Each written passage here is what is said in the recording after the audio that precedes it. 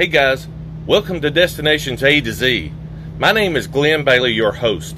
This is where we do reviews of RV campgrounds, RVs, and such things that makes your RV lifestyle much better, including some places to eat and actually go enjoy uh, relaxing and utilizing all the eventual uh, tools and stuff of RVing. So let's get this video started.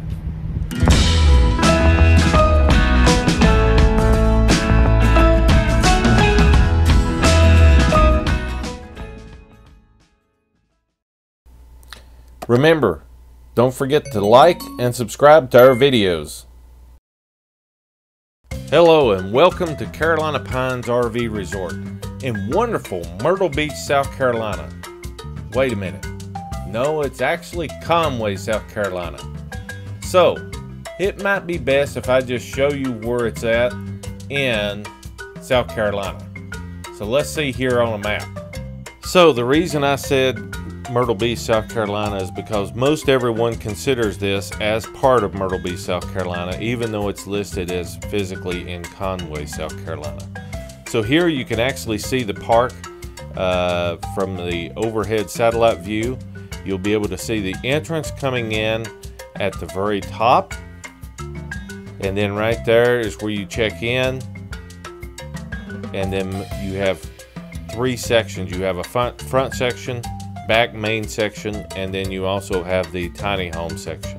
This area here is known as Carolina Commons. This is pretty much the center hub of all the activities within the park, including some of the pools and the water park uh, within itself. So this is the area that you'll need to know.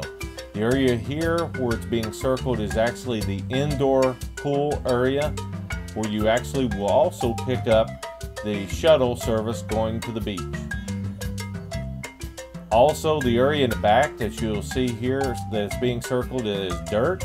This is an area of expansion where they're currently working on now and adding in more wonderful sites here at the resort. This resort is absolutely amazing. During your check-in, you'll receive an official map that actually shows you the layout of the entire resort. And down in the lower left-hand corner, you can actually see phase three, uh, from which I spoke about uh, in the satellite view, showing you where the new section is going. And yes, it will have another pool as well.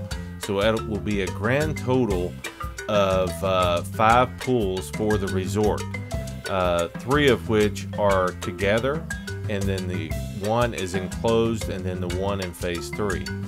As you can see from the legend, the premium sites, which are all pull through, are actually highlighted in green. Check this out. This is the new layout of the water park, including the lazy river, and yes, even more slides. Can you believe it? It's located just north of the current water park and a little bit to the west, but it's still part of the main section. And look at the water fountain there in the center. I'm sure there'll be bench seats in there to where you can go in there and, and set in the water. This is going to be absolutely amazing. Now to just show you exactly where they're at on the building of it, there is actually no definitive date yet of when it's going to be open, but as you can see, they're well underway, and this is just January. So if I was guessing, I would say probably summer of 2023. Now, the additional slides might not happen at this time. I would say most likely toward the fall or even winter of next season, they will get those in, so that'll be open for the following year. But regardless, can you believe this? The best park in Myrtle Beach just got even better. Guys, this is where everyone needs to be staying. Can't wait. See you on the next one.